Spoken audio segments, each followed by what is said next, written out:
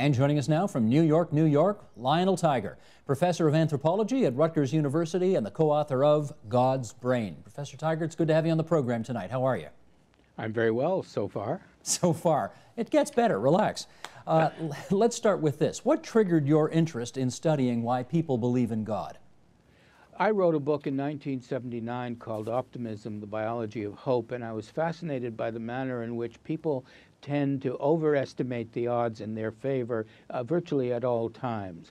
And it seemed to me that as a hunting gathering species, which we are, we had to have built in a pattern so that we get up in the morning and say, What a great day to catch an elephant.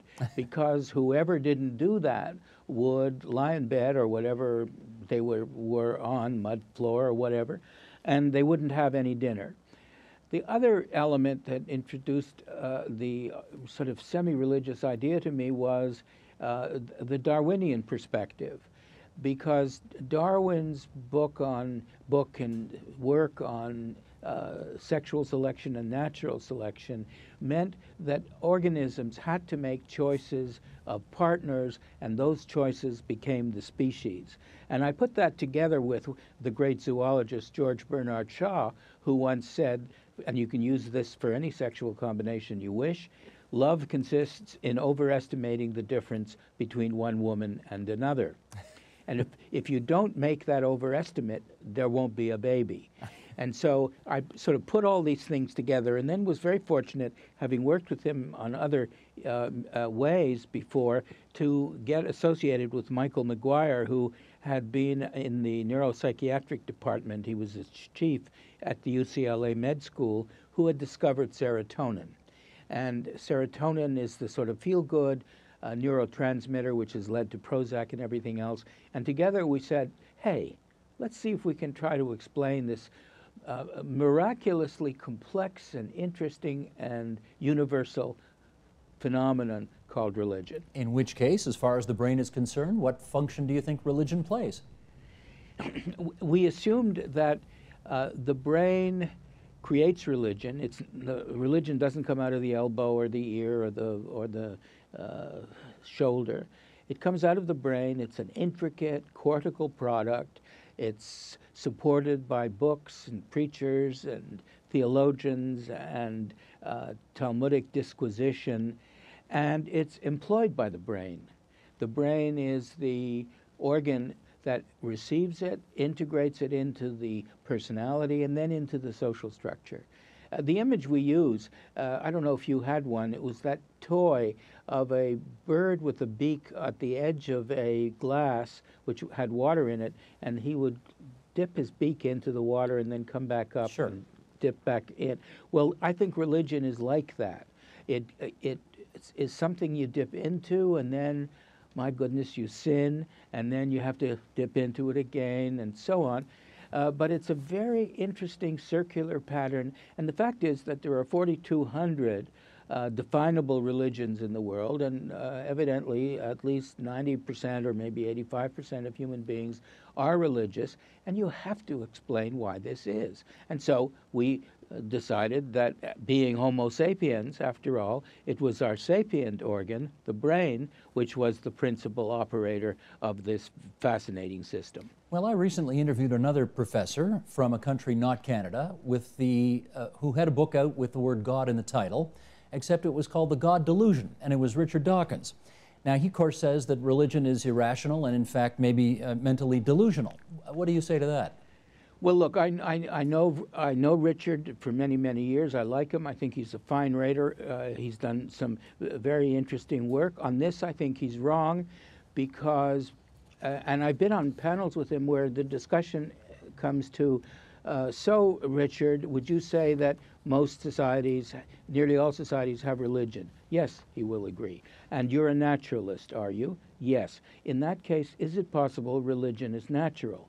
And that's when the discussion ends. The fact is that the uh, corollary of what he says and Christopher Hitchens and some other people who've written rather brilliantly and uh, energetically on the subject, is that if you're a religious person, you're somehow subnormal.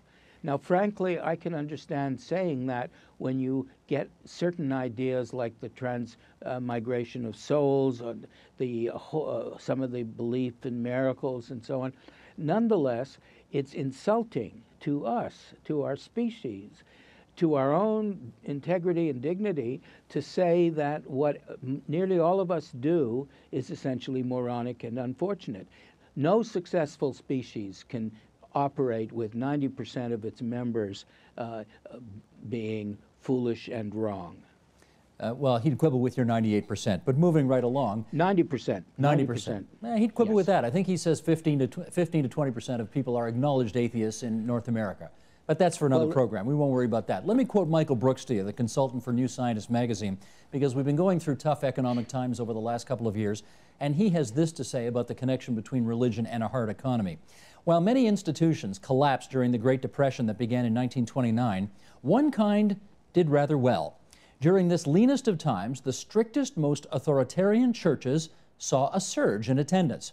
This anomaly was documented in the early 1970s, but only now is science beginning to tell us why. It turns out that human beings have a natural inclination for religious belief, especially during hard times.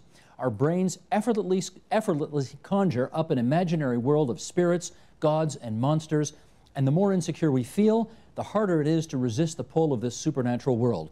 It seems that our minds are finely tuned to believe in gods. Why do you think this is the case, particularly in difficult economic times? Because we're group animals and uh, you can't live alone. No man is an island. And uh, humans have always been intensely social, intensely convivial, depend on, on each other, interested in each other, gossip with each other, groom each other, just hang out together. And religion is a mechanism such that you know at least once a week you can go to a place where there are people you know and trust, people who will help you out, who will help you build your house, raise your barn, do all those things and uh, it's soothing. In in our book, uh, God's Brain, uh, McGuire and I talk about two facets of this. The first is that we all suffer from what we call brain pain you're getting a flat tire on uh, during an important appointment uh, run that you're making. Your child is not either obedient or clever. Uh, your uh, arrangements with your finances are very, very poor. And even if they're not, your brain is worried. It's worried. It's worried, and that's brain pain. On the other hand, uh, what religion does is provide what we call brain soothing. You go to a, a, place, say Friday or Saturday or Sunday. It's often a rather elegant building, rather more elegant than where you live. And it may have beautiful music, it may have uh, official people with wonderful costumes.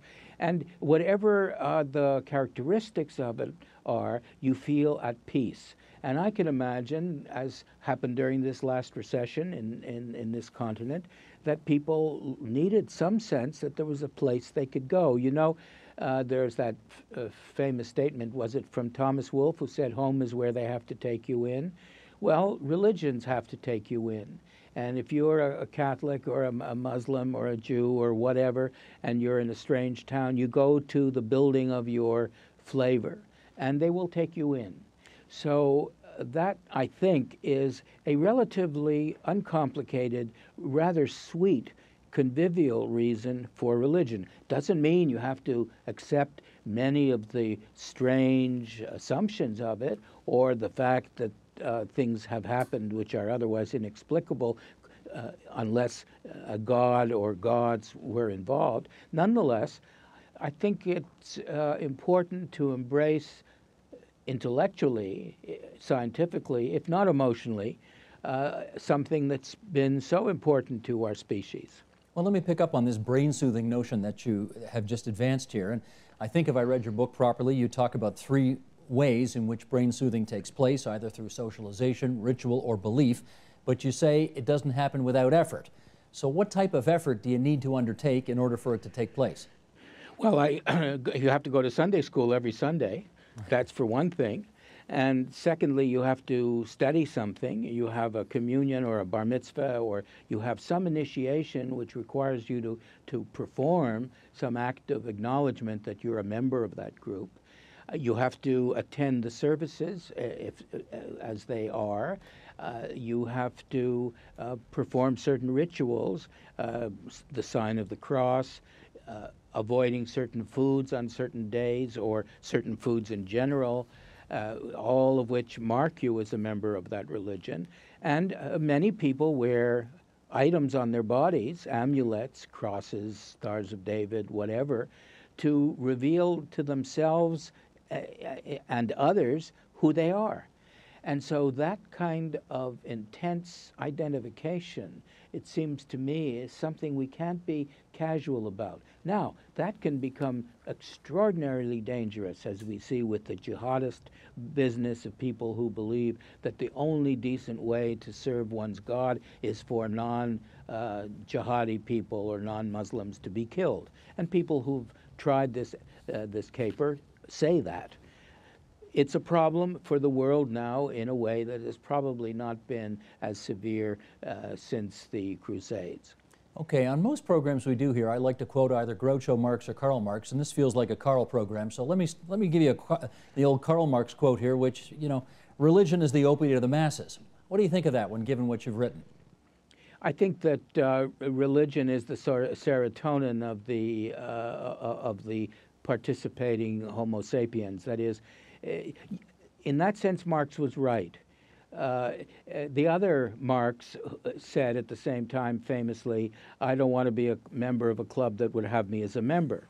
and that, that's what religions do. They, you are a member, and they all have you and you have to be converted or you have to go through a certain procedure, as we've discussed. But between your two favorite Marxes, I think we begin to see something about uh, the, the gravity and the, the complexity of this process. And I suspect that having a, a better understanding of religion, uh, I'm here an optimist, may make us less willing to die for uh, a set of ideas and beliefs and practices which uh, may, after all, not be uh, uh, fatally essential to somebody. Okay, in our last minute here before I invite you to join the others in the studio and in Points Beyond to continue our discussion, uh, let's go full circle. If belief is natural, as you have advanced during the course of our discussion tonight, is atheism an evolutionary exception in your view? You raise an extremely important question, and uh, McGuire and I, as we finished our book, we thought, well, you know, we left this out. At the same time, atheists are, and I know many, are people who have often very strong moral convictions. They may do quote unquote good things, not because they read it in the Bible or the Quran, but they just intrinsically think that it's good to be good. And uh, at the same time, they often have a wider view of the world. Utilitarianism was one such view, namely the best uh, result for the most people to make the most people happy. Utilitarianism as a, as a sort of religion substitute basically failed, I think, because it had lousy music and no good costumes. uh, uh, and the other big effort to create a moral structure was uh, Karl's Karl Marx's uh, epic, um, communism. But communism had a very poor theory of human nature, and finally people couldn't take it anymore. That's Lionel Tiger, the author of God's Brain. Stand by for a few seconds. I'm going to cross the studio and we'll continue our discussion on whether environmentalism is a new religion for today.